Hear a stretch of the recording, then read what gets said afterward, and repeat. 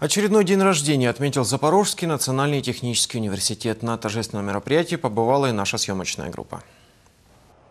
Запорожский национальный технический университет – ровесник 20 века. Правда, созданное в 1900 году учебное заведение изначально называлось механико-техническим училищем. С него и началось инженерно-техническое образование в нашем крае. День рождения университета впервые отпраздновали уже в годы независимости, в 98-м. Юбилеи отмечают с помпой, промежуточные даты скромнее. Праздник, он домашний, он э, спокойный, он проходит в нашем актовом зале. Потому что действительно вот такие промежуточные праздники мы должны праздновать в семейном кругу. Вот этот семейный круг сегодня и собрался. Лучшие студенты машинки говорят, накануне выпуска из университета не сомневаются в сделанном выборе. Технические специальности нынче востребованы, и это залог успешного трудоустройства. Здесь учился мой брат.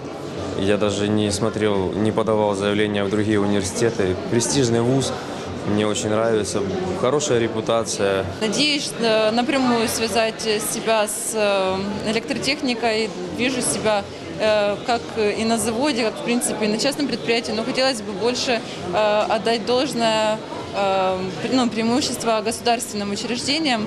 По случаю праздника лучшие студенты и молодые преподаватели были отмечены премиальными стипендиями.